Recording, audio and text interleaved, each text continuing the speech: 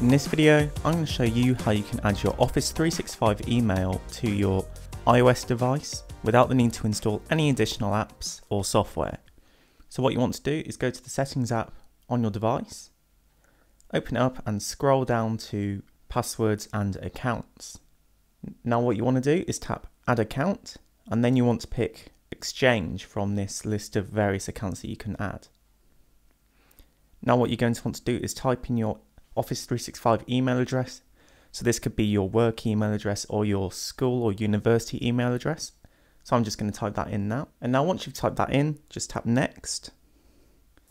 And then you're going to want to tap on sign in. This should then bring you to your Office 365 login portal page where you'll be able to type in your password for your account so you can sign in. And now that I've typed that in, it's confirmed all the details and here I can add other things apart from mail so I could even have my calendar or notes there. So I'm just going to tap save and now it's added to my apps. So now what you can do is open up the mail app and your mailboxes and everything you need will be there. So that is how to add it to your iOS device. And this might be useful if you're a student or you need your work email on your phone as you will be able to Make sure that you don't miss out on important emails such as room changes or changes to your timetable if you're a student. So I think it's just a really handy thing to have on your device.